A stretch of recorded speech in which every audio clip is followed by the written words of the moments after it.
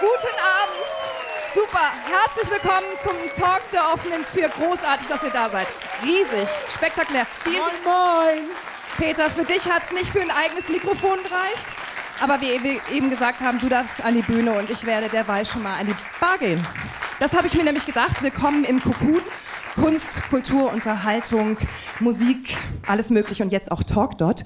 Und hinter der Bar, hinter der Bar, das ist der, ja, ich würde sagen, der strengste Barkeeper St. Paulis, aber auch der coolste. Es ist Andreas. Guten Abend. Hallo. Andreas, was hältst du davon, mir ähm, ein Cuba Libre zu machen? Super Idee. Sehr schön. Dann würde ich ein Cuba Libre nehmen. Ja, wenn du die so freihändig kannst. Großartig. Und in der Zwischenzeit stelle ich mal Christian vor, das ist das Fernsehen. Christian, wink doch mal. Fantastisch. Und wer bist du eigentlich hier? Ich bin Michael. Das ist Michael, toll. Bist du öfter hier? Ja. Trinkst du auch Cuba Libre? Da steht er. Ist nicht, ist nicht wahr, das ist auch ein Problem. Ich, ich koste den mal, ja, solange ich noch keinen habe. Also spitzenmäßig. Ich würde sagen, das Zittern, das lässt langsam nach. So, bei dir ist schon weg. Ich würde sagen, fehlt nur noch Musik. I'm a rock'n'roll man, rock'n'roll man, rock'n'roll man. I'm a rock'n'roll man, rock'n'roll man, rock'n'roll man. I'm a rock'n'roll man, rock'n'roll man, rock'n'roll man, rock'n'roll man. I'm a rock'n'roll man, you're my rock'n'roll queen. I'm a rock'n'roll man, rock'n'roll man, rock'n'roll man. Yeah, baby. I'm a rock'n'roll man, rock'n'roll man, rock'n'roll man. I'm a rock'n'roll man, rock'n'roll man,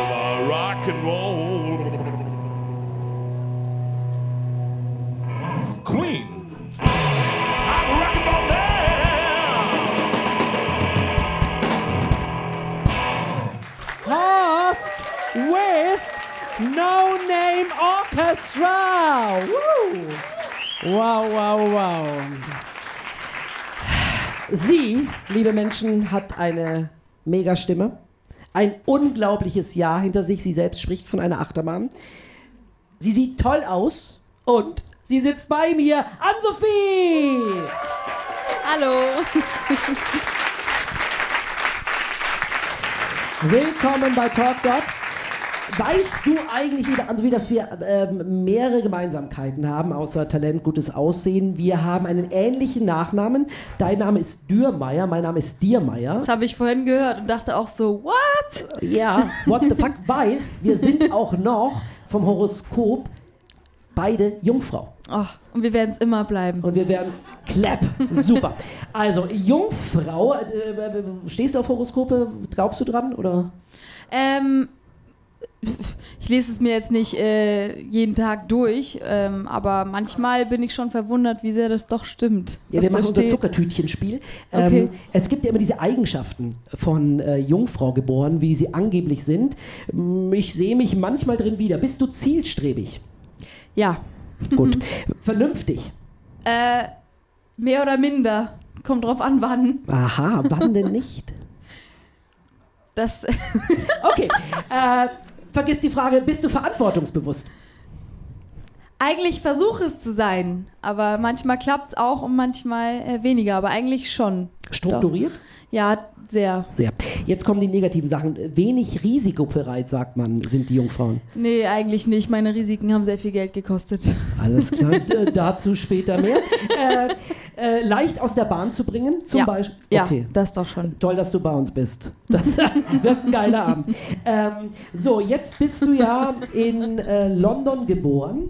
Genau. Und in Hamburg aufgewachsen. Das muss man erklären. Sind deine Eltern Diplomaten? Was ist passiert, dass du in London zur Welt gekommen bist? Ja, mein Vater hat da beruflich, äh, doch, hat da gearbeitet und dann bin ich da zur Welt gekommen. Und äh, wie lange warst du dann in der Hauptstadt? Ähm, dreieinhalb Jahre, glaube ich, ja. Und dann Okay. ging es nach Frankfurt. mhm. und Am dann- Main oder? Ja, am Main.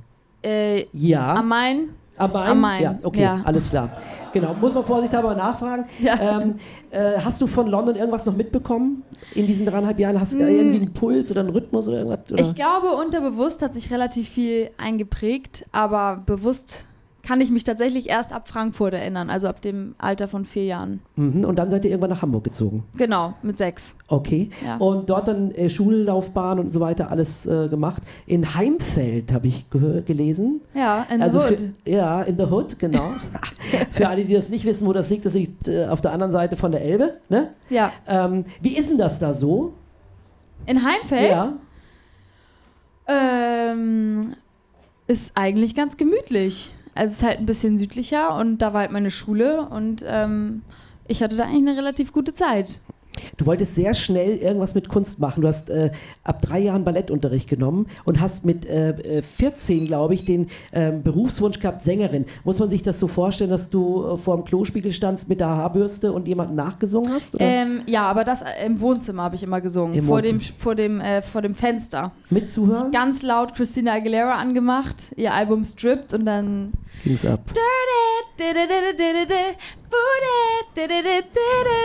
Ihr wisst, wie viel ich noch vom Text kann, nämlich gar nichts mehr. Ja, aber. Und mit. Zuhören schon, oder? Nee, ohne Zuhörer. Also da waren Nur alle das Fenster Eltern, und ich. Alles klar. Ja, ich habe immer gewartet, bis alle weg waren und dann habe ich dazu gesungen. Und dann kam das Abitur 2010. Wir machen das alles äh, relativ schnell, weil jetzt gehen wir zusammen äh, mit dir nach New York. Oh, okay. Du bist nach dem Abitur, hast du dir dann wahrscheinlich auch diesen künstlerischen Traum erfüllt, hast gesagt, ich gehe auf das Lee Strasberg äh, Film- und Theaterinstitut, das ja relativ bekannt ist in New York. Mhm. Ähm, ich habe ja auch eine Schauspielausbildung, bei mir war es immer wahnsinnig viel Psychodrama, was wir machen mussten, also immer an der Wand lang, wenn Gefühle waren und so weiter, immer schön festhalten. Ich habe Lee Strasberg nie ganz verstanden. Was kann man sagen, macht Lee Strasberg? Äh, Method Acting. Und Method Acting basiert eigentlich auf dem Prinzip, dass man immer wahrheitsgetreu schauspielt. Also wenn du eine Emotion von Trauer zum Beispiel hast, dann kannst du nicht einfach nur versuchen zu weinen, sondern du sollst dich an einen Moment zurückerinnern, wo du diese Emotion hattest. Und so da ein musst du, privater Moment. Oder Genau, was? Hm? private, genau, Private Moment oder dann hast du da auch vielleicht ein Objekt, äh, was dich, was irgendwas auslöst in dir, das musst du dann erfühlen und sehen und riechen und keine Ahnung und äh, dann hoffen, dass dabei die Emotionen eben frei werden. Und irgendwie, du machst ja auch dann Animal Work, also so, du bist dann halt dann Tier. Ah, Ja, ich war dann Pferd. mach, mach mal Pferd, mach mal das. Wie kann man, macht man dann so, da hüpft Sie, man meine Schauspiellehrerin meinte so, Ann-Sophie, das war das beste Pferd, was ich jemals gesehen habe. Da war ich schon echt stolz auf mich.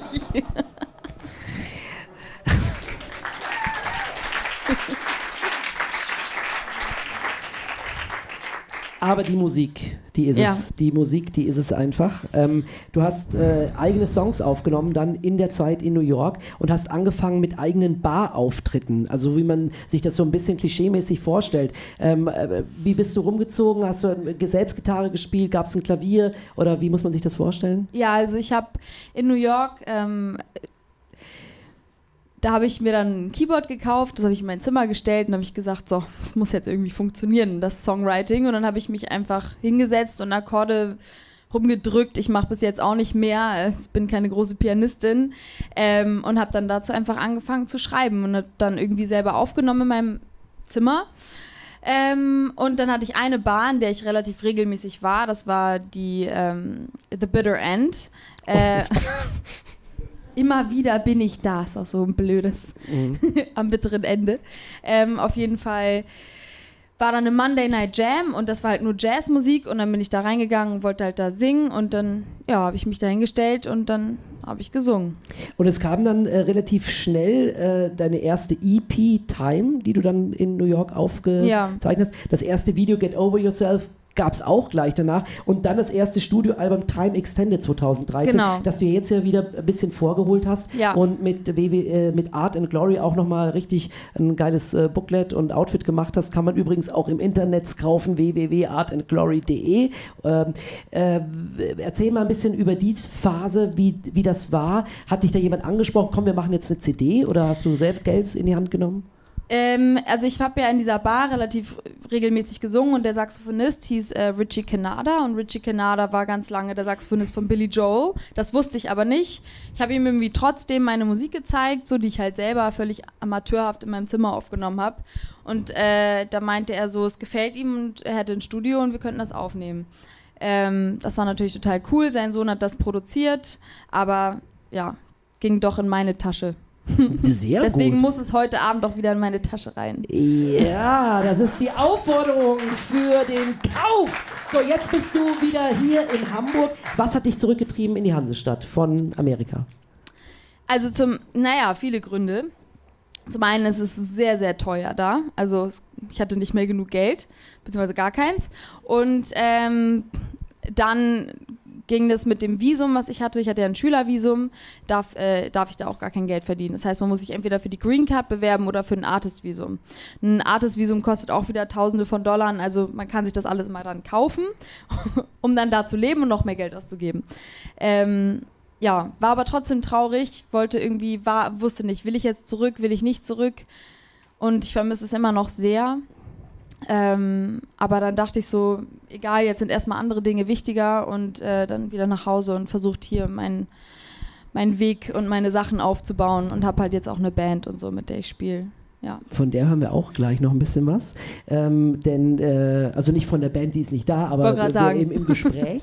äh, wir sind jetzt ja schon in Hamburg. Wir sind jetzt schon auf dem Kiez, sind wir eh hier im Cocoon. Und äh, gleich um die Ecke rum war das Clubkonzert, Ja. äh, mit dem alles irgendwie losging. Es ging um, um den Eurovision Song Contest Peter, 2015. Peter, bevor du das Fass jetzt aufmachst, darf ich mal kurz sagen, dass ich jemanden entdeckt habe. Und zwar hinten an der Bar. Jemand, der eigentlich gar nicht hier sein dürfte, der Kiezverbot hat. Das ist nämlich Harry Schulz. Hier hinten, hier hinten sitzt Harry Schulz mit seinen strahlenden blauen Augen. Hallo Harry, es ist so schön, dass du da bist. TV-Imbiss-Tester und äh, Besitzer vom Lütten Grill in der Max-Brauer-Allee. Hast du, was hast du heute gegessen? Heute, ich habe vorhin Schweinebraten drüben gegessen auf dem Weihnachtsmarkt hier. Und das letzte Hähnchen? Das letzte Hähnchen ist sehr lange her, weil ich habe meinen Laden seit 20 Jahren. Ich kann nur meine eigenen Hähnchen essen und das mache ich so alle vier, fünf Monate mal. Okay, alles klar, pass auf, ich wollte dir mal was zeigen. Komm mal mit. Wir gehen mal raus. Und zwar zeige ich dir mal hier draußen was. Also, Christian kommt mit, Harry ist hier, es strömt, es strömt Regen ohne Ende für die, die jetzt drin sitzen. Harry, ich wollte dir sagen, guck dich mal um, das alles hätte dir gehören können. Was ist das für ein Gefühl? Also ich bin auf St. Pauli geboren und habe meine ersten 18 Jahre hier auf St. Pauli verbracht. Eine sehr schöne Jugend gehabt, äh, bin dann nachher verschwunden und ich weiß natürlich, das würde nie mir gehören, wenn ich hier geblieben wäre. Also, nee. Das weiß man ja nicht genau. Also ich glaube, du hättest eine mega Kiezgröße äh, ausgemacht. Äh, Du warst ja auch eine Kiezgröße. Aber irgendwann kam der Punkt, und der ist ganz spannend, äh, an dem du St. Pauli verlassen musstest. Magst du uns das mal erzählen? Ja, da muss ich aber einen kleinen Tick weiter ausholen. Also ich habe mit zwölf schon meine erste eigene Wohnung gehabt und hab, musste Geld verdienen damals. Ich habe äh, angefangen am Hans-Albers-Platz, da gab es damals Tapetenlachmann. Da habe ich für 1,50 Mark die Stunde Tapetenrollen sortiert. Dann gab es hier drüben das Café Menke und das Café Lausen. Da habe ich den Hinterhof gefegt, gab es auch 1,50 die Stunde. Und so habe ich mir ein bisschen Geld verdient. Vorne an der Ecke gab es damals Kristallwilms. äh, Das war meine erste Geschäftsidee, die ich auf St. Pauli hatte. Zu dem bin ich hingegangen, weil die ganzen Gastronomen auf, der, auf ganz St. Pauli haben dort immer ihr Porzellan abgeholt. Und ich hatte ihm halt vorgeschlagen, äh, und er musste mich auch ernst nehmen, ich war damals zwölf Jahre alt, als ich mit ihm gesprochen habe, äh, dass ich eine Geschäftsidee hätte, er müsste eine zweite Preisliste machen und ich würde dann die Gastronomen beliefern. Das heißt, sie müssten nicht mehr bei ihm das abholen, die Preisliste ein bisschen teurer und davon könnte er mich bezahlen. Das hat wunderbar funktioniert, dadurch habe ich auch Geld gespart, weil ich immer, wenn ich zu ihm gekommen bin, habe ich erstmal geguckt, äh, welche Restaurants müssen beliefert werden. Wenn mir nach Italienisch war, bin ich immer als erstes ins Corneo gegangen. Äh, wenn ich auf Griechisch Appetit hatte, habe ich dann hier in der Davidsstraße den Griechen als erstes besucht. So habe ich also mein erstes Geld verdient. Mit zwölf, ne? Das musstest du auch. Ja, also meine Brüder haben die Wohnung, die Miete bezahlt, aber ich musste mich halt selber also dafür sorgen, dass ich was zu essen habe. Genau, weil die Mama schon tot war und Vater nicht so ganz fit, ne? Also meine Mutter ist gestorben, als ich elf war. Bis dahin war ich das behütetste Kind auf ganz St. Pauli. Also die hat immer tierisch aufgepasst. Aber als dann, als sie gestorben war, musste ich halt selbstständig werden, weil mein Vater äh, mehr dem Alkohol äh, zuge... Also der war halt total Alkoholiker. Und hier auch eine Größe auf dem Kiez war ein Koberer damals und der Hans Dampf in allen Gassen. Ein toller Mensch. Aber leider, da der in äh, Russland sechs Jahre in Gefangenschaft war nach dem Krieg, äh, da wurde der einfach gebrochen und hat einfach das Leben nicht mehr in den Griff gekriegt. Also ich habe meinen Frieden mit ihm gemacht, aber er konnte uns halt äh, nach dem Tod meiner Mutter nicht großziehen. Das haben dann meine beiden Brüder übernommen, indem sie die Miete meiner Wohnung bezahlt haben und die auch heute für mich noch sind. Also mein mittlerer Bruder ist wie meine Mutter heute noch und mein großer Bruder ist wie mein Vater. Und ich dann Aber du hattest auch weitere Beschützer auf dem Kiez, ne? Es gab auch sogenannte Paten. Also du bist hier einiges äh, rumgekommen. Damals gab es drei Paten auf dem Kiez und für einen, das war Heinz Domis, der hatte hier richtig was zu sagen auf dem Kiez, eine Größe, der ist immer mit dem Pelzmantel hier rumgelaufen, war so ein normannischer Kleiderschrank. Wenn der was gesagt hat, haben alle gespurt. Meine beiden Brüder haben für ihn gearbeitet. Heinz hatte ein paar Bars hier auf St. Pauli, also vorne Bar und hinten illegale Casinos. Und meine Brüder haben an der Bar gearbeitet. Und so habe ich Heinz kennengelernt und das war für uns alle drei, für uns drei Brüder, war das ein väterlicher Freund. Der hat halt praktisch auf uns aufgepasst. Und das war das Schöne, ich konnte mich auf St. Pauli bewegen und wenn, ich, äh, wenn es nach Ärger roch, hat immer einer von hinten geschrien, das ist der Junge von Heinz. Ne? Und dann war Ruhe und dann konnte ich machen, was ich will. Da habe ich auch meine, mein Selbstbewusstsein und meine große Klappe hier. Du hattest nichts zu befürchten. Ich hatte auf St. Pauli überhaupt nichts zu befürchten. Und dadurch, dass ich ja für Wilms dieses äh, Porzellan ausgeliefert habe, das ging ja nicht nur in Restaurants, das ging auch in alle Diskotheken, in alle Puffs. Also das heißt, es gab keinen Laden. Durftest du denn schon als kleiner Steppke in Puff? Also damals hat man noch nicht von Kinderarbeit gesprochen. Die 70er Jahre auf St. Pauli waren anders als, als heute, also ganz anders. Und da, ich will mal so sagen, wenn wir in die Amüsierbars, wenn ich da reingegangen bin, da waren ja immer diese schweren Vorhänge vor. Da liefen ja noch äh, Super 8 Pornofilme aus Dänemark ohne Ton. Das war eine ganz fantastische Zeit, also für mich jedenfalls. Damals war ich ja noch in dem Alter, wo es mich sehr, sehr interessiert hat. Das ging ja gerade los. Und ähm, dann habe ich am Vorhang gewartet und wenn kein Nagi da auf der Bühne war, dann hat der Koberer gesagt, so kannst reingehen. Und dann habe ich erstmal meine Cola am Tresen gekriegt und alle waren immer sehr, sehr nett zu mir. Das glaube ich, aber irgendwann wurdest auch du volljährig, ne? Was war dann? Es gab dann noch einen Sprung, als ich so 15 wurde, haben meine Brüder gesagt. Äh, 15 war bei dir volljährig? Nein, aber da haben meine Brüder gesagt, dass ich mich nicht mehr in Bordellen rumtreiben darf, weil es kam nur die Pubertät. Ich habe dazwischen, ich habe dann nachher auch bei Kristallwilms aufgehört, das muss ich noch ganz kurz erzählen, und hatte dann eine zweite Geschäftsidee. Ich bin zu einer Prostituierten gegangen, die mich am Anfang natürlich nicht für voll genommen hat. Die hat gesagt, kleiner, geh spielen. Und dann habe ich sie einmal geschüttelt und gesagt, hier, wenn ich eine Frage habe, musst du mich auch ernst nehmen, ne? Und dann ich, hat sie gesagt, ja, was willst du? Und dann habe ich gesagt, also was mich interessiert hat, war einfach, wenn die arbeiten, waren die Geschäfte auf. Wenn die Feierabend hatten, waren alle Geschäfte zu. Mich hat einfach interessiert, wie kommen die an Lebensmittel ran? Und das war halt meine äh, Idee, dass ich gesagt habe, ich gehe für euch einkaufen oder für dich. Ich hatte ja nur eine angesprochen am Anfang. Und das fand die ganz knuffig. Die hat mir also Geld gegeben. Ich habe gleich von Anfang an gesagt, weder Aldi noch Edeka. Ich gehe nur zur Feinkostglö in der Delef-Bremer Straße da war ich schon vorher und habe mit dem gesprochen und gesagt, hier Junge, was ist denn, wenn ich hier ein bisschen mehr Ware abnehme, wie ist das denn mit Prozenten und so. Also da hatten wir schon ein Gespräch vorher gehabt. Um das kurz zu machen, ich hatte nachher 13 Frauen, für die ich eingekauft habe, sieben Haustürschlüssel. Da habe ich die Ware nach Hause gebracht. Ganz kurz, 13 Frauen, für die du gelaufen bist, ne? Ja, die haben nicht für mich gearbeitet, Entschuldigung. Also nein, ich habe hab für die Lebensmittel eingekauft. Bin dann nach Hause gegangen, wo ich die äh, Schlüssel hatte der Wohnung, habe schon den Tisch gedeckt, weißt du, so mit Glas umdrehen und Messer und Gabel links und rechts. Und habe damals, als ich so zwölfeinhalb war, habe ich im Monat 2000 D-Mark ungefähr verdient. Wow, das ist nicht schlecht. Applaus von innen und wir stehen hier im Regen, aber nicht im finanziellen. Du, aber Harry, irgendwann wurdest du ja 18, ne? Also volljährig, also 18, 18. Ja, ich weiß, worauf du hinaus willst. Als ich 15 wurde, haben meine Brüder gesagt, jetzt ist Schluss mit den Einkaufen der Prostituierten. Das war denen wirklich unheimlich. Und dann habe ich gesagt, habe ich was anderes gemacht. Dann ähm, bin ich Discjockey geworden auf St. Pauli, war mit 15 Europas jüngster Discjockey. Habe dem Chef erst erzählt, als ich 16 wurde, dass ich erst 16 bin. Hat eine Sondergenehmigung vom Jugendamt gekriegt, dass ich bis 22 Uhr Musik auflegen durfte. Damals war das im Blue Up, das ist heute Große Freiheit 36. Und hier das Hollywood, das ist heute Docs. Und da habe ich vor 1000 Leuten immer jeden Abend schön bis 22 Uhr Musik gemacht. Das habe ich eine ganze Zeit gemacht und habe da auch Geld verdient. Und dann wurde ich irgendwann 18 Aha, volljährig. Dann wurde ich volljährig und ich muss dazu noch einleitend sagen, dass ich den Kontakt zu den ganzen Zuhältern, der ist immer aufrecht geblieben. Das heißt, sie haben mich in den Diskotheken besucht, da sind Freundschaften entstanden und ich weiß ja, worauf du hinaus willst. Ich habe dann mit 18 äh, ein Geschenk bekommen, das wolltest du hören, ne? Ja. Und zwar haben die Jungs mir zum 18-Jährigen eine Prostituierte geschenkt. Ich dachte, Mit Schleife. ich dachte, ich soll jetzt eine Nacht wegarbeiten. Das fand ich eigentlich ein tolles Geschenk. Aber die Jungs hatten einen anderen Hintergedanken. Sie wollten gern, dass die für mich arbeitet. Und ich hatte aber einen anderen Lebensplan. Ich wollte unbedingt eine Werbeagentur aufmachen. Das wusste ich damals schon, als ich 14, 15 war, dass ich irgendwann mal Schallplatten-Cover-Designer werden wollte, was ja auch sehr gut funktioniert hat. Und ich habe dann äh, mit Heinz gesprochen, mit Heinz Domes, der ja mein Aufpasser sozusagen war auf St. Pauli. Hab dem erzählt, dass ich das von den Jungs bekommen habe. Der hat sich schlapp gelacht fand das ein Riesengeschenk und habe aber gesagt, ich kann es nicht annehmen. Und ähm, da gab es nur einen Weg. Ich hab, äh, er hat sie praktisch zurückgenommen, den Jungs das erklärt und ich musste dann allerdings St. Pauli verlassen. Ich hatte dann noch ein halbes Jahr Zeit, um alle Schulden zu begleichen, was, nicht, Was für Schulden? was nichts mit Geld zu tun hat, sondern mit Gefallen auch. Das heißt, jeden, den ich kannte, bin ich hingegangen, habe gesagt, ist noch was zwischen uns und da habe ich sechs Monate für gebraucht und dann habe ich äh, 1978 St. Pauli verlassen und bin dann auch erst viele, viele Jahre später zurückgekehrt. Also nicht ganz erst heute. Aber was heißt das, wenn man auf St. Pauli sagt, du schuldest mir einen Gefallen oder ich tue dir einen Gefallen? Das interessiert mich jetzt wirklich. Was, was genau ist das? Natürlich tut man sich gegenseitig ja oft Gefallen. Und das wird einfach, äh, das macht man auf der Festplatte, speichert man das ab. Und irgendwann gehst du zu dem hin und sagst, du schuldest mir noch was. Ne? Du weißt damals, jetzt machen wir gerade den Bruch, kannst du Schleier Schmiere stehen. Ach, tatsächlich. Ich wollte mich gerade sagen, irgendwas Illegales und irgendwas, ah, irgendwas Verruchtes. Gib mal das Mikrofon. Also ich bin niemals vorbestraft, ich, bin nie, ich stand nie vor Gericht. Ich habe wirklich böse Sachen gemacht, wo ich mich auch im Nachhinein so ein bisschen für schäme. Bin aber nie erwischt worden. Das heißt, äh, ich habe eine völlig weiße Weste und ich hake das so ab als Jugendsünden. Okay, alles klar. Und du hast ja, es kam ja auch viel Gutes. Komm, wir gehen mal an Christian vorbei und mal rein, weil es hier jetzt so langsam ein bisschen frisch wird.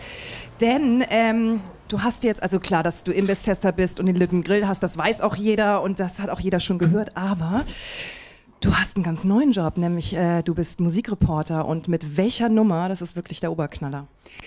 Ja, da muss man einmal vielleicht auch noch einmal eingreifen. Ich mache Und nochmal ausholen. noch einmal ausholen. Ich mache halt äh, seit neun Jahren im Sat 1 Frühstücksfernsehen, äh, bin ich sozusagen Gastronomietester. Ich reise um die ganze Welt, sag den Leuten, was sie essen sollen und was nicht. Das läuft so einmal die Woche im Fernsehen, mittlerweile auch auf vier verschiedenen Sendern. Soll ich die alle sagen? Sat 1 Kabel 1, N24, Sat 1 Gold.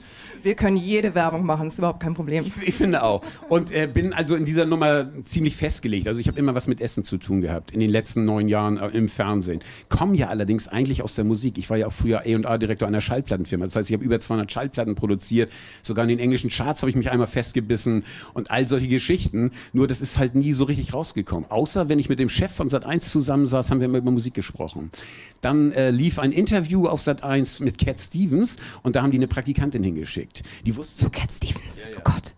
Unfassbares Interview. Ich habe das gesehen und habe die Hände über den Kopf zusammengeschlagen. Die wusste nichts über äh, Lady der Banville oder wann der Hits gehabt hat. Die wusste so gar nichts. Sie hat den Fragen gestellt, da habe ich mir ins Knie gebissen und gesagt, die kann sich hinterher erschießen oder aufhängen. Auf jeden Fall äh, hatten wir das, kam das auch nochmal zum Gespräch und so. Und dann kam ein Anruf von diesem äh, Sat1-Chef, der mich äh, auch die letzten Jahre gefördert hat, der viel für mich gemacht hat im Sender, auch sich immer wieder gerade gemacht hat. Wenn viele gesagt haben, jetzt reicht's aber auch mal. Äh, der macht das jetzt schon so viele Jahre, lass mal was Frisches machen, hat der immer gesagt, nee, nee, die Einschaltquoten sind super. Der hat mich auf jeden Fall angerufen und hat gesagt, Harry, möchtest du nicht mal was mit Musik machen? Alter, natürlich, du Nasenbär. Das ist ja mein großer Traum. Und dann war das erste Interview, was ich führen durfte, äh, Jimmy Page von Led Zeppelin, der Gitarrist, der Gott der Gitarristen sozusagen. Wahnsinn. Ich glaube, hier geht ein Raun durch den Raum. Den hast du interviewt, einfach so. Nicht einfach so, haben wir noch zwei Minuten, dann erzählt ihr ganz kurz die Geschichte. Also ich glaube, jeder will sie, will sie hier jemand hören, die Jimmy Page-Geschichte und Harry Schulz. Eigentlich ein absoluter Albtraum. Also das Interview sollte in Berlin stattfinden. Ich bin dann da äh, naiv, ich bin hingejettet in so ein Wahnsinnshotel in einer riesen Suite und äh, Jimmy Page durfte nur zwei Sender interviewen, einmal Arte und einmal Sat1. Ich war halt der Kasper von Sat1 und Arte war aber vor mir dran. Und jetzt hat die Plattenfirma uns so einen kleinen Zettel gegeben, da stand drauf, keine Fragen zu Robert Plant, dem Sänger von Led Zeppelin, die haben sich mal gerade wieder in den Haaren, und keine Fragen zu ähm, Stairway to Heaven, da läuft ein Prozess über 60 Millionen Euro, äh, da will er auch nicht gerne drüber reden, oder Dollar. Ja, das sind eigentlich einfache Vorgaben. Jetzt komme ich in diese Hotelsuite rein, wunderschön, mit freistehender Badewanne, also du hast sowas habe ich lange nicht gesehen. Und da sitzen die Jungs von Arte und ziehen alle eine Fresse, als wenn Jimmy Page gestorben wäre. Und das war auch mein erster Gedanke, der ist 70 Jahre alt. Ich komme rein, die sitzen alle mit, mit Gesichtern ganz traurig. Und ich dachte so, Alter, ist er tot? Ich habe meine große Chance und jetzt stirbt er mir unter den Händen weg. Nein, es war anders. Äh, die erste Frage von dem ähm, Arte-Moderator war, sag mal mit Robert Plant, ne? Nee, echt? Ich schwör's dir. Und Jimmy Page ist aufgestanden und ist rausgegangen. Und das haben die mir erzählt, haben dann schön zusammengepackt und sind gegangen. Und ich saß ganz allein in diesem Zimmer und dachte, wie geil, das wird ein super Interview. Wenn er dann wiederkommt, ne? Also er kam eine ganze Zeit lange nicht, dann ging mal die Tür auf, einer guckte und auf einmal kam meine Produzentin, Kameramann, Ausleuchter, es wurde alles eingeleuchtet, aber Jimmy Page kam nicht. Und wir hatten noch eine Anweisung gekriegt, dass wir nicht nach Autogrammen fragen dürfen. Nun war das für mich aber so, dass ich diese einmalige Chance, den sehe ich ja nur einmal im Leben, den sehe ich ja nie wieder. Also habe ich, ich habe eine fantastische Schallplattensammlung, da müssen wir noch mal einzeln drüber reden. Auf jeden Fall habe ich geguckt, was ich von Led Zeppelin habe und habe so fünf, sechs LPs mitgenommen. Also LPs sind diese schwarzen Dinger früher vor der CD. Ich hab die auch, hör mal. Du bist ein junges Ding. Ich dachte, ich müsste dir das mal kurz erklären. Auf jeden Fall habe ich, das- auf jeden Fall habe ich die mitgenommen, habe gesagt, ist mir alles scheißegal. Der muss mir eine Unterschrift geben. Ganz klar. Ich hatte auch nur die Vorgabe, fünf Minuten hatte ich Zeit für das Interview. Dann kam er endlich rein, zog auch so eine Fresse, setzte nicht neben mich und ich fing dann an, so die ersten zwei, drei Fragen zu stellen und merkte, das Ding wird nichts. Ne? Der ist ja sowas von verkrampft und ich auch. Das, das geht total in die Hose. Und dann habe ich eine von meinen Schallplatten rausgenommen, ihm gezeigt äh, und habe gesagt, kennst du die? Das war, sollte eigentlich gar nicht stattfinden, aber ich, ich, muss, ich musste das irgendwie auflockern. Und dann guckt er sich die an und sagt, Mensch, da hieß ich ja noch gar nicht Jimmy Page, das ist ja aus den 60ern. Ähm, das sind so Studio-Sessions, er kannte das wohl noch und so. Ne? Und dann gibt er mir die zurück und dann habe ich gesagt, nee, die wollte ich dir schenken. Und da guckt er mich an und nimmt die und ist ganz glücklich. Und dann dachte ich, okay, das ist jetzt deine Chance. Nimm die zweite Platte raus und sag, und kennst du die? Und er guckt drauf, schmeißt die auf den Boden und sagt, das ist ein Bootleg, also eine Raubpressung. Und dann habe ich gesagt, habe ich die aufgehoben und gesagt, Jimmy, du musst ganz ruhig werden. Das ist kein Bootleg. Du hast zu Jimmy Page gesagt, werd mal ganz ruhig. Klar, ich habe ja eine große Klappe. Und habe ich, hab ich ihm das erklärt. Es gab früher in Deutschland einen Mann, der hieß Reinhard Mohn, der hat die Bertelsmann-Clubs gegründet. Und das war der einzige in Deutschland, der original Schallplatten rausbringen durfte mit einem anderen Cover-. Und dann habe ich gesagt, jetzt dreh die Scheibe mal um und sag mir, welche Led Zeppelin das ist. Dann hat er sich die lange gesagt, das gibt's nicht, das ist die Led Zeppelin 2. Ja, habe ich gesagt. Natürlich ist sie das. Dann dreht er das um und dann sehe ich, wie sie seine Augen feucht werden. Und dann sagt er, Harry, das ist ein ganz unglaubliches Bild. Da sieht man John Bonham, den Schlagzeuger, den sieht, da sieht man das Gesicht. Normalerweise hat man die drei von Led Zeppelin immer gesehen, die Gitarristen und so die Sänger, aber den Schlagzeuger, der saß hinter seiner Bude und den konntest du halt nie sehen.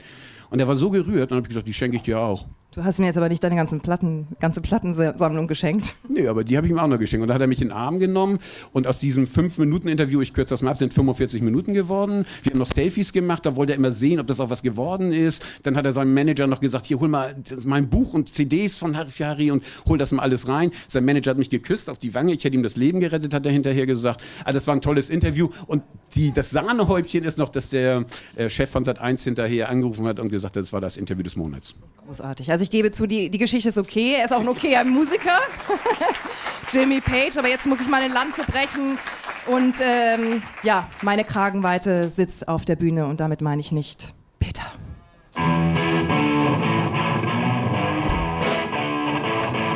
Yeah. I quit my job.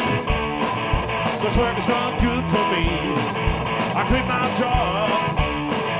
I'm already feeling free. Now I have time for football. Now I have time for sex. Now I have time to hang around and to drink a lot of Becks. I quit my job.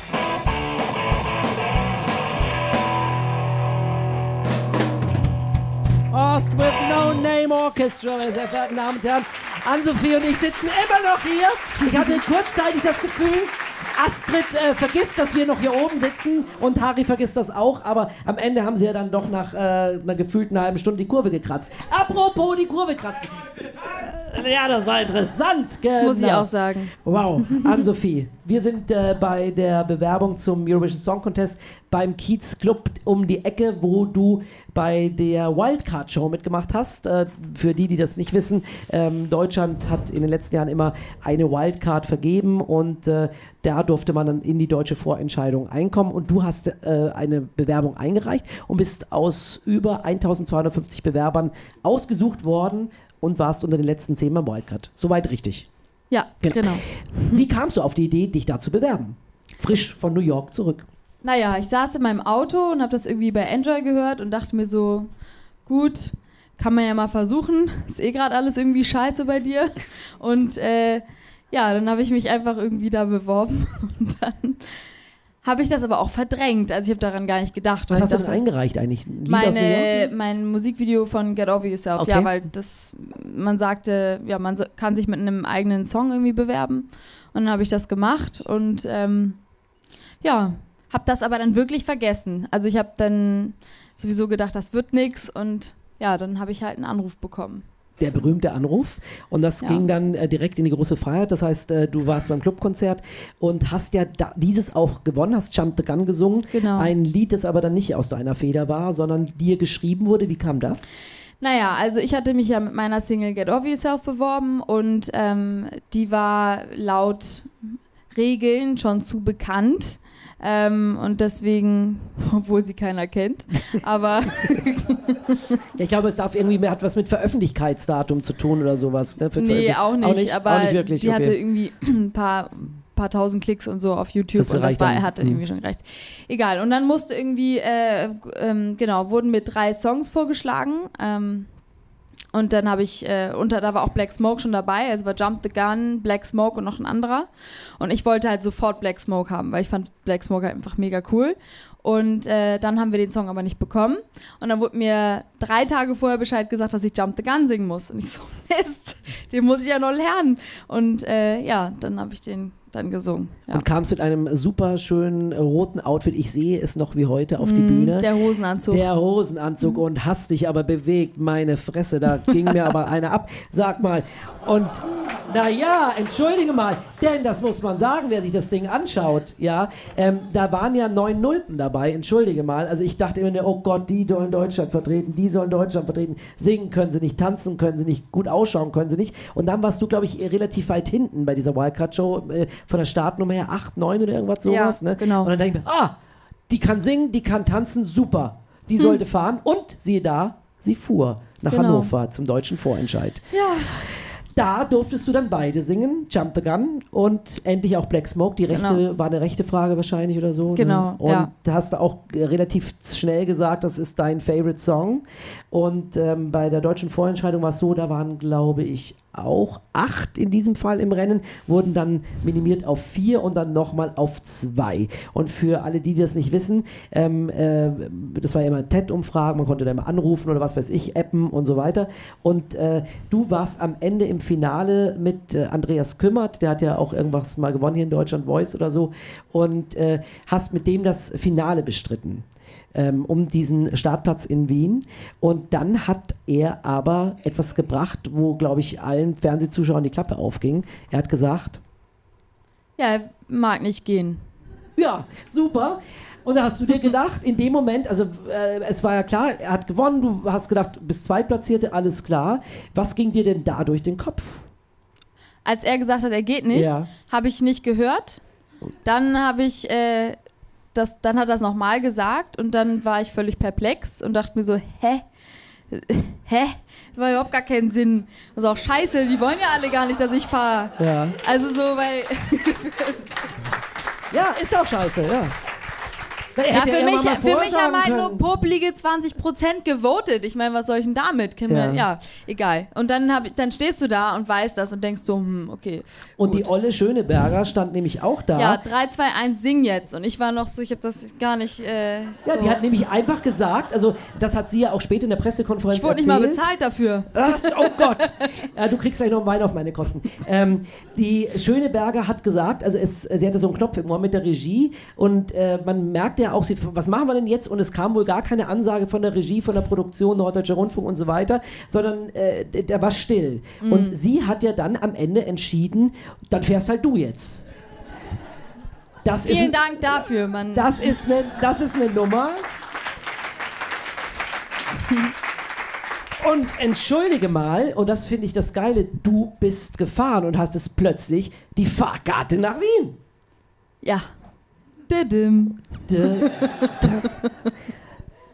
Ähm, in dem Moment, in als ich die meiner Show. Das hatte, ist sensationell hier bei der Holy Night Bingo Show. Mein Name ist leid, Ricardo. L. Ich Ah. bin Und- euer Top-Entertainer, und Top-Verkaufsrepräsentant du denn schon wieder und? Top-Produktexperte. Was ist hier denn los? bist in der Süß falschen hier Show. vorne. Hallöchen. Komm mal, komm mal kurz. Schnuckelchen. Bisschen zu alt bist du, du bist mir. falsch Was ist denn hier los? Ich gebe dir erstmal, ich gebe dir mal ein Tässchen Sekt aus. Komm hier mal ganz Ich entspannt an der Bar. nicht. Ja. Das ist ja die Hallo, Rolle. Wir haben schon mal miteinander zu tun die, gehabt. Hier die aber ist, das ist die Inhaberin hier. Abend. Ist erst Samstag oder was? Ich hatte mich im. Ricardo, äh, kann ich dir ein Tässchen Sekt ausgeben? Nee. Sag doch mal. Ich nehme einen ganz anständigen und ehrlichen Averna, bitte. Andreas. Andreas, machst du sowas? Ja. Ohne Eis und ohne Zitrone, bitte. Ja, herzlich willkommen nochmal. Schön, dass ihr da seid bei meiner. Nein, bei unserer Talk Dot. Alles klar. Aber Ricardo, komm, dann äh, komm mal runter, sonst kriegst du auch gleich Ich noch äh, komm nie Kiezverbot. runter. Das muss I'm just getting started, my Was dear. geht bei dir?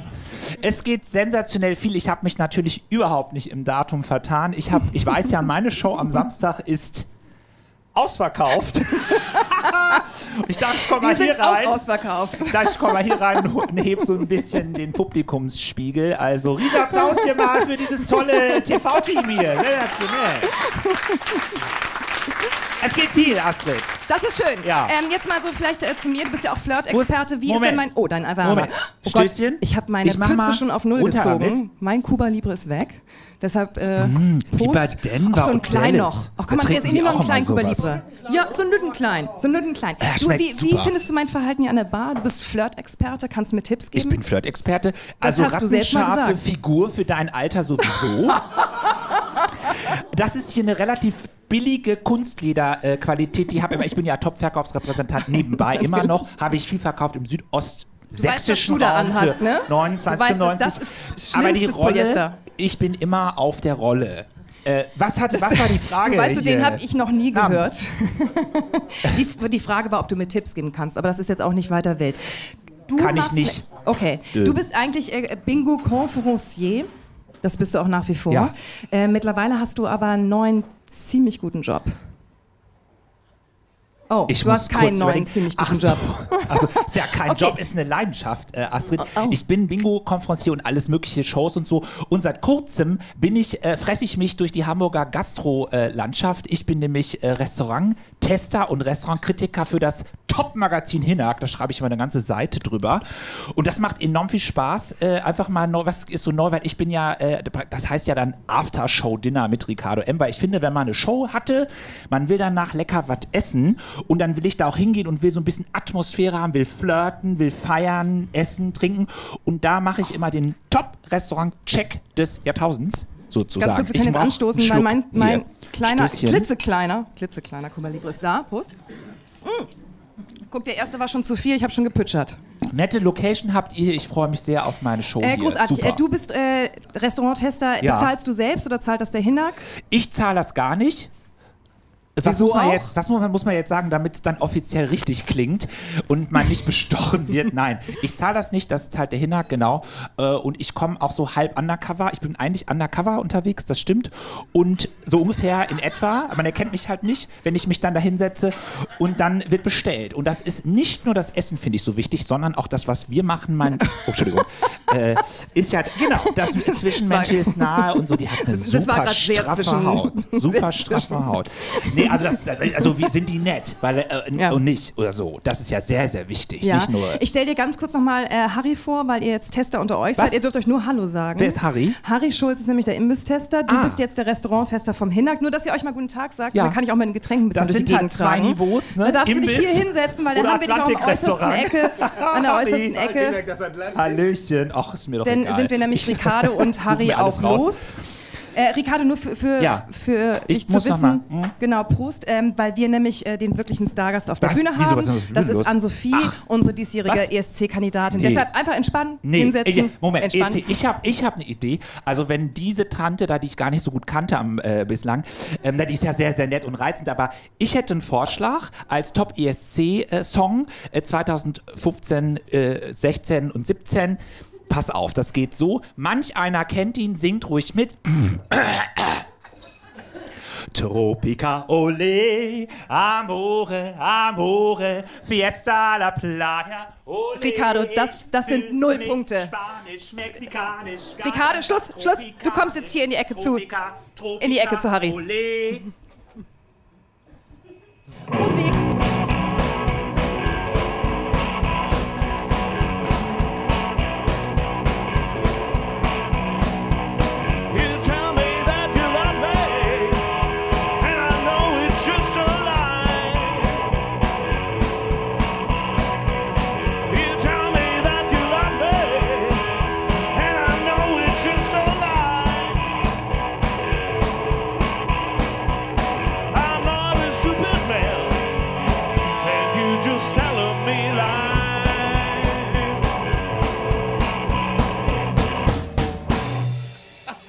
Hospital Orchestra!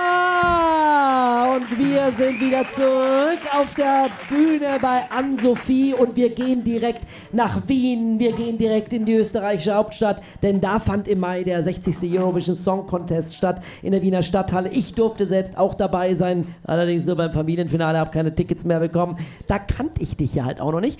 Ähm, so, da waren auch ganz viele in dieser Wiener Stadthalle und vor allen Dingen waren auch ganz, ganz viele Zuschauerinnen und Zuschauer all over the world. Das sind ja Millionen Menschen, die da ähm, auf den einen Auftritt warten, der nur drei Minuten dauern darf. Du hattest die Startnummer 17, wie ich nochmal rausgefunden habe. Das heißt, 16 Länder starten vor dir. Ist das ungefähr so, als ob Ricardo M singt oder wie muss man sich das vorstellen? Ähm, es war sehr, sehr aufregend. Ähm, vor allen Dingen, als es dann irgendwie losging und du hast so einen unglaublich langen Weg zur, zur Bühne und das ist irgendwie schon echt, es war schon ein ganz, ganz toller Moment. Ja, viel Hat man zu kurz. Kontakt zu anderen Musikern aus, der, aus den anderen Nationen Ja. oder ist es wirklich so perfekt organisiert, dass man einfach nur immer vorbeigeschleust wird? Nee, also wenn du Kontakt haben möchtest, kannst du zu den anderen Kontakt haben. Ähm, es ist auch, also wir haben uns alle irgendwie hatten noch das Interesse, einander kennenzulernen. Unsere Kabinen waren halt alle immer, die Länder waren sich so gegenüber, also in, in, in äh, drei Blöcken sozusagen. Und äh, bei mir gegenüber war Italien. Die drei Ja, die Tenöre, waren super. genau. Ah, bellissima, haben sie dann die ganze Zeit irgendwie gesagt. Ja, es war auf jeden Fall ganz, ganz Und wo nett. war denn der alte Schwede, der Mons Zelmerlöw, der Ja. am Ende gewonnen hat? Das soll ja auch so ein Hallodri sein, ne? ja, ist auch einer. Jetzt rück raus. Was heißt das? Also der macht, äh, der war flirty. Also Ja. das, was Astrid hier immer versucht. Ja. Und dann Ja, ich nicht, nee. Ich habe gesagt, nee, so nicht. ist nicht dein Typ. Doch, der ist. Aber war dir too much. Ja, ich. Nee, so nur Player ist irgendwie auch ein bisschen doof. Ich will dann ja die Leute richtig kennenlernen. Das ist Okay. äh, ja auch schon fatal in dem Business. Aber äh, ja, aber schon heiß. Ja. Die Zeit, in, äh, die Zeit in Wien war ähm, äh, cool. Alle waren irgendwie auf deiner Seite. Alle haben gesagt, du machst das an, Sophie, wir rocken die Bude. Wie war die Stimmung bis zum Doch, die Auftritt? war gut. Ja, die war gut. Ich war ja leider die Woche krank in Wien. Das war ein bisschen ärgerlich für mich, weil ich dadurch äh, alles nicht so intensiv erleben konnte, äh, bis auf den letzten Auftritt dann. Ähm, doch, aber die Stimmung war gut. Alle waren aufgeregt bis dann zum Schluss. Da ging die Stimmung runter. Naja gut, jetzt kommt Black Smoke. Ach so, Endlich okay. du wieder super, ne? hast dich ja bewegt wieder wie eine Eins. Du kannst dir vorstellen, dass da ist wieder einiges abgegangen. Ähm, hast einen super Auftritt hingelegt, hast dich nicht versungen, hast dich nicht vertanzt. Die Show war für deutsche Verhältnisse sogar auch einigermaßen gut. Also hinten die, die, die Vidi-Wall und so, das sah eigentlich ganz toll aus mit, mit, mit äh, diesen James Bond-Verschnitt-Sachen und ähm, der Saal lag dir doch auch zu Füßen danach. Also, oder ist das, weil das Publikum sowieso alles beklatscht? Hattest du. Ja, also das Publikum war zum einen mega gut drauf. Also die haben sich über jeden gefreut, der da auf der Bühne äh, äh, stand. Es sind halt einfach alles ESC-Fans. Die feiern jedes Land, würde ich sagen. Ähm, es war ganz toll. Man hat ja leider nur drei Minuten Zeit auf dieser riesigen Bühne und äh, 30 Sekunden nur Zeit, um auf die Bühne draufzukommen. Und ich habe wirklich nochmal versucht, so einen Moment diese ganzen Leute, die da alle stehen und die ganzen Flaggen, das ist total schön.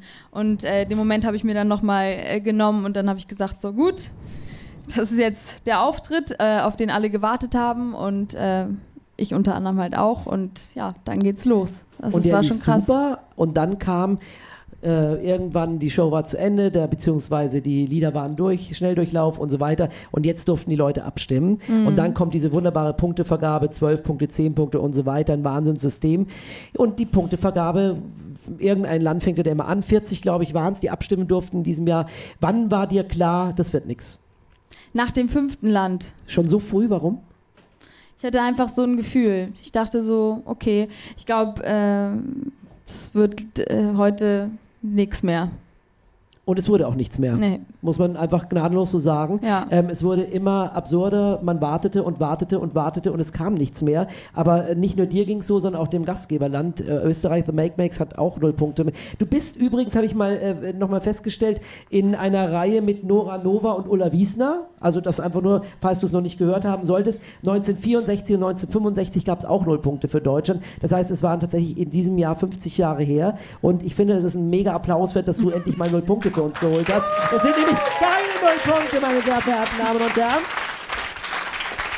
So, aber was jetzt der Knalle ist, hast du mir auch nochmal erzählt. Äh, man könnte ja trotzdem feiern danach, dieses Ereignis. Okay, du bist letzter geworden, auch mit den Österreichern. Äh, man könnte doch jetzt einfach geile Aftershow machen.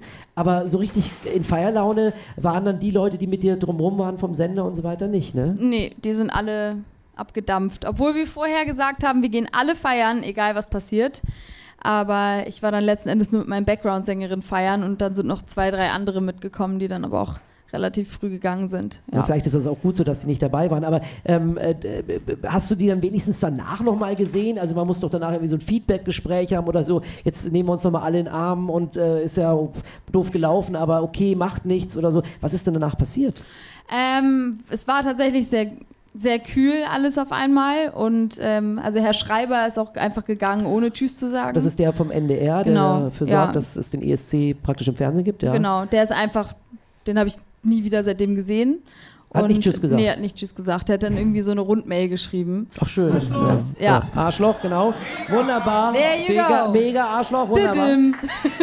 Okay, ähm, du, du hattest ja auch noch die Platte Silver into Gold, die es ja immer noch zu kaufen gibt. Äh, die Genau. wurde ja auch noch rausgehauen vom ESC, äh, relativ Fünf in fünf Tagen habe ich das Album gesungen. Jeden Tag zwölf Stunden. Und danach war das Marketing aber auch irgendwie. Ja, scheiße.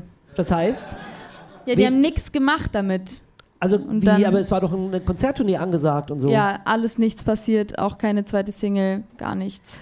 Also zweite Single heißt normalerweise wäre nach Black Smoke eine Nachfolgesingle gewesen und aber kam nichts mehr, hat man gesagt, nee, mach, mach mal keine Werbung, setzt man nicht mehr auf ein totes Pferd oder so.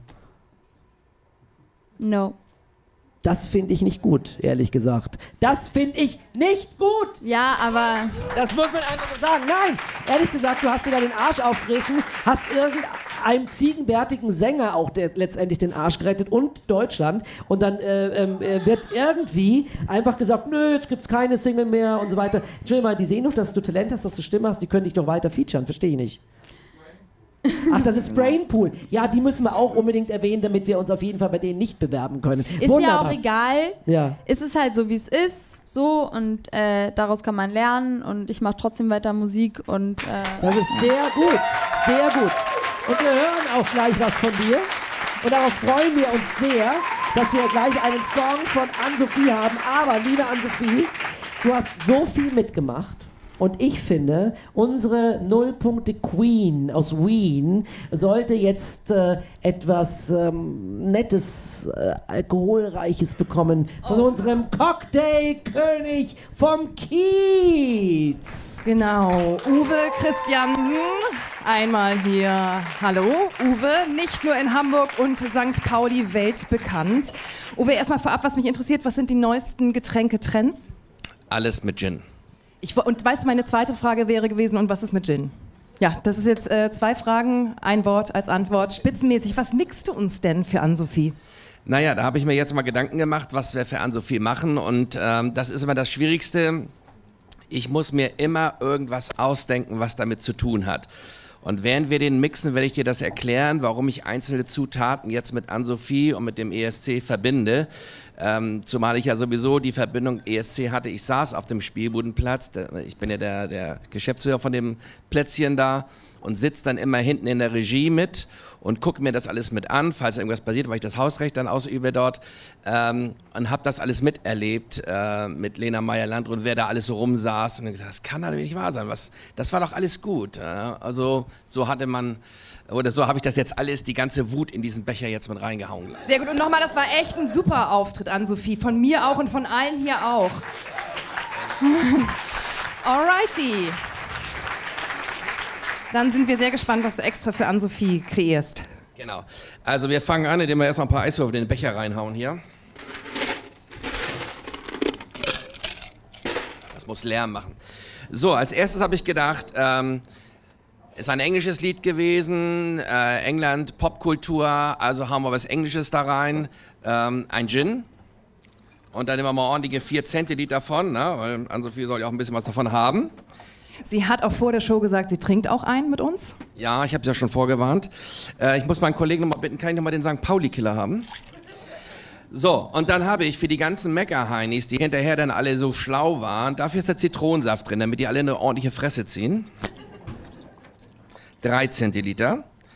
Und weil ich Ann-Sophie eigentlich ziemlich süß finde, habe ich gedacht, gut, Ann-Sophie ist der Vanillezucker. Süß, geschmackvoll, lecker. Und davon kommen zwei gehäufte Teelöffel rein. So, jetzt haben wir den Cocktail soweit fertig. Jetzt wird er mal ordentlich geschüttelt. Ungefähr drei Minuten. Können wir das wenigstens abkürzen? Und nicht, dass du jetzt sagst, und, und fünf Minuten drei. So, das reicht. Dann habe ich ein kleines Gläschen mitgebracht. Da kommt jetzt ein bisschen Crushed-Eis rein. So, das dürfte reichen. Und, ups, dann seien wir die ganze Sache so ein bisschen ab, dass das da alles reinkommt. Wunderbar, passt sogar. So, und da wir hier auf St. Pauli sind und das Ganze auf St. Pauli auch anfing, habe ich gedacht, dann kommt der St. Pauli-Killer da rein. Das ist jetzt Ann-Sophie, wie sie jetzt ist. Sie kann über die Sache lachen und sie greift wieder an. Also kriegt sie ordentlich einen Killer rein. Da ist ein bisschen Chili mit drin. Das brennt. So, na, Ann-Sophie ist hübsch, also muss der Cocktail auch hübsch werden. Also habe ich mir extra gestern per Hand geschnitzt aus Papier wunderbare kleine Trinkhalme dazu gebastelt. Guck mal, so rum gehört er. Und das ist jetzt der Zero Point Cocktail. Ein Applaus. Den liefern wir gleich ab. Der sieht traumhaft aus. Ich muss mich zurückhalten, aber nein, ich werde ihn nicht probieren. Ich werde ihn hier einfach wunderschön stehen lassen. Äh, das hat auch einiges mit Multitasking zu tun, ne? So eben mischen, talken, äh, Stimmung von Menschen einschätzen. Naja, wenn man 35 Jahre hinter der Bar steht, dann hat man das irgendwann drauf. Die Leute fragen immer, hast du alle Rezepte im Kopf? Ich sage, wenn ich das nach 35 Jahren noch nicht im Kopf habe, wann dann? Was war denn so der verrückteste Ort, an dem du überhaupt mal Getränke mischen durftest oder gemischt hast? Ja, ich glaube, somit das äh, Wahnsinnigste waren elf Tage Cannes, Filmfestspiele in Cannes 2006 auf der Privatjacht von Beilingen. In Deutschland besser bekannt als die Berlinakte, eine Hollywood-Schauspielerin äh, chinesischen Ursprungs.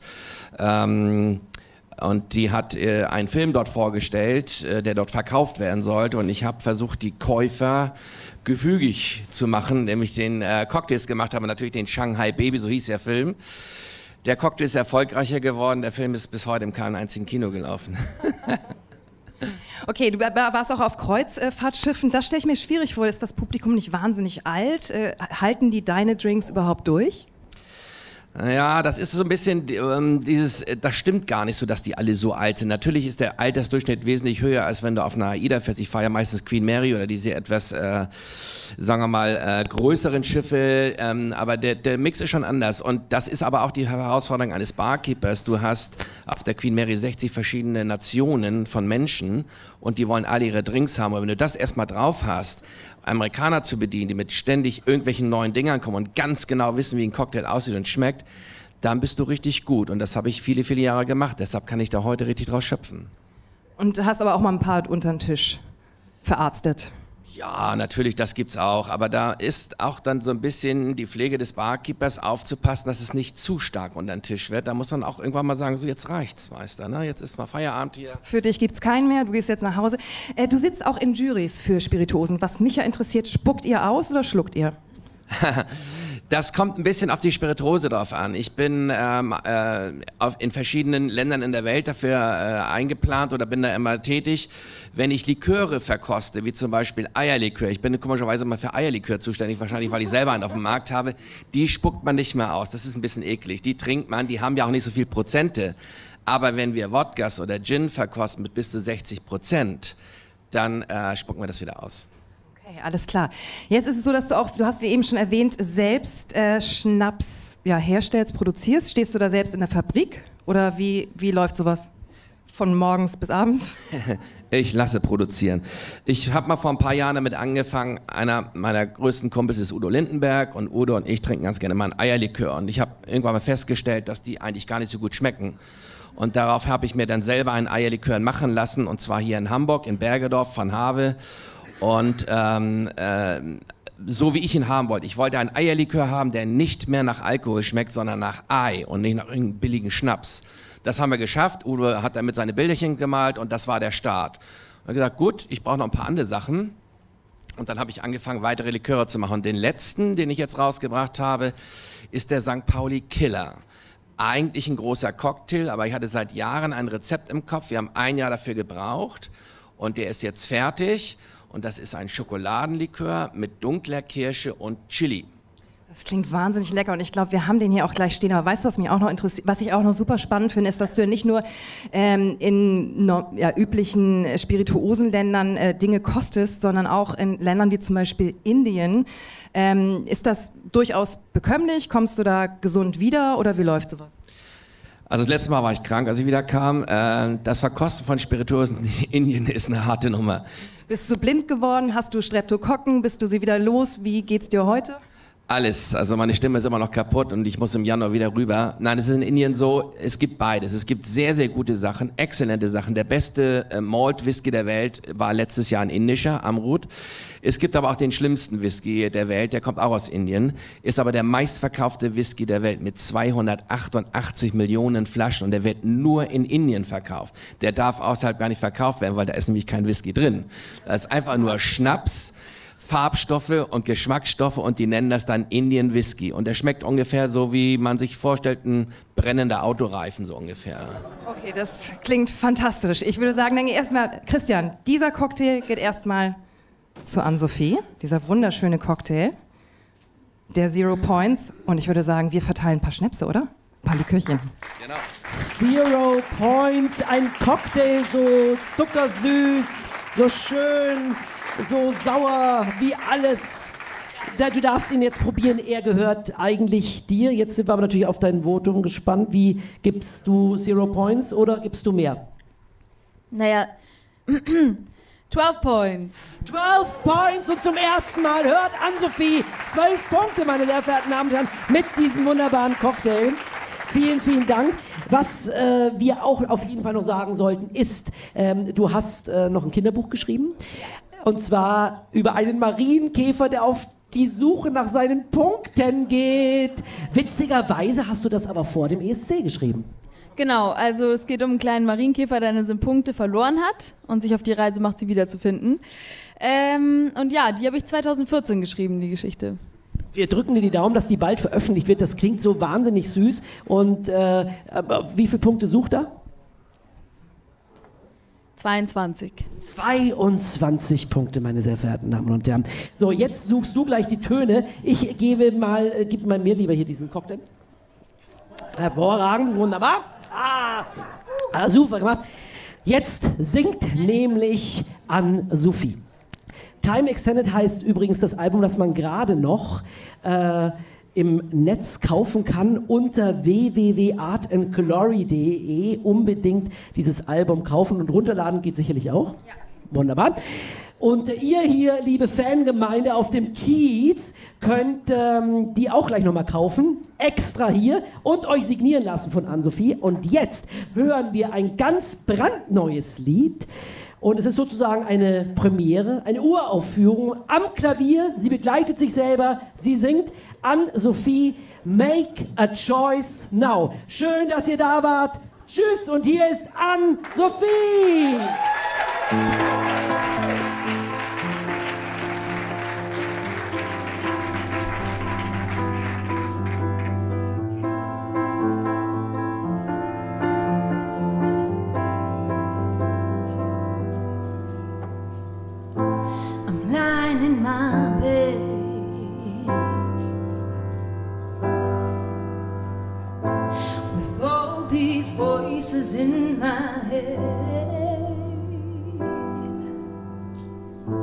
And they keep spinning around. They keep spinning around. Making sounds, making sounds. and someone's whispering my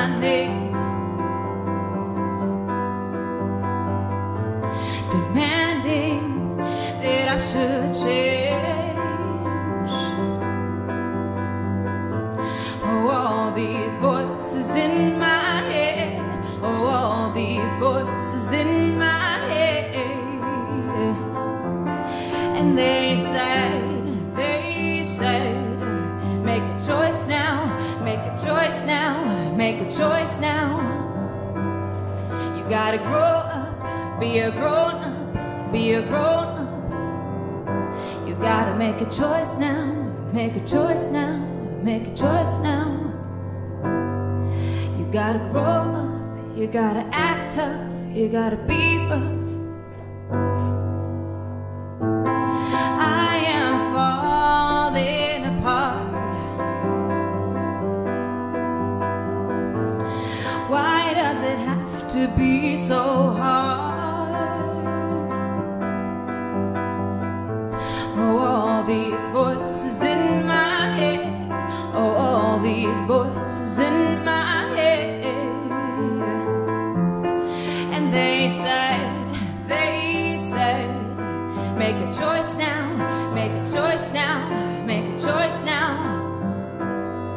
You gotta grow up, be a grown up, be a grown up. You gotta make a choice now, make a choice now, make a choice now. You gotta grow up, you gotta act tough, you gotta be rough.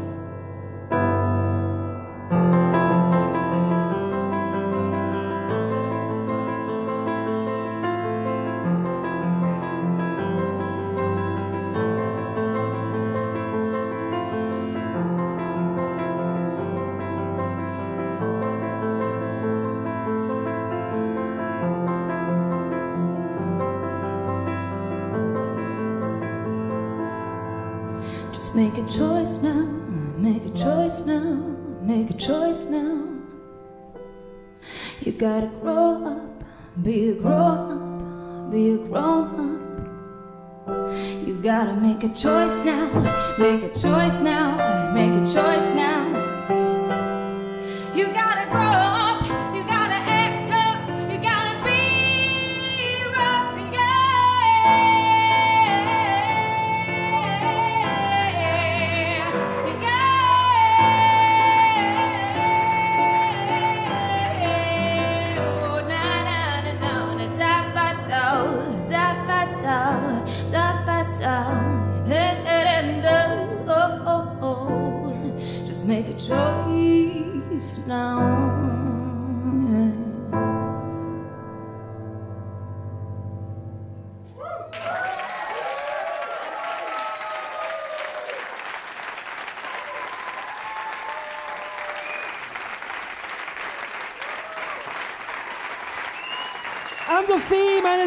verehrten Damen und Herren, make a choice now. Vielen, vielen Dank.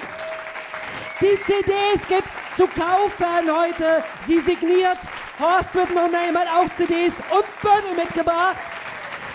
Horst with No Name Orchestra. Dankeschön. Uwe Christiansen, der Mann von der Cocktailbar. Dankeschön. Harry Schulz. Danke. Dankeschön. Der Mann, der glaubt, dass seine Show ausverkauft ist. Ricardo M. Dankeschön. Ann-Sophie. Mein Name ist Peter Diermeier, das ist Astrid Rolle und das war die Premiere von Talk der offenen Tür. Ich hoffe, es hat euch gefallen. Kommt gut durch die Nacht, wir sagen Dankeschön. Ach so, tschüss, ne? und tschüss. Und danke euch allen. Vielen Dank. Das war nicht geübt. Dankeschön. Vielen, vielen Dank. Tschüss. Gute Danke. Nacht. Nee, bleibt hier, bleibt hier. Zum Trinken und reinschnacken. Wir machen eine Aftershow jetzt. Jetzt.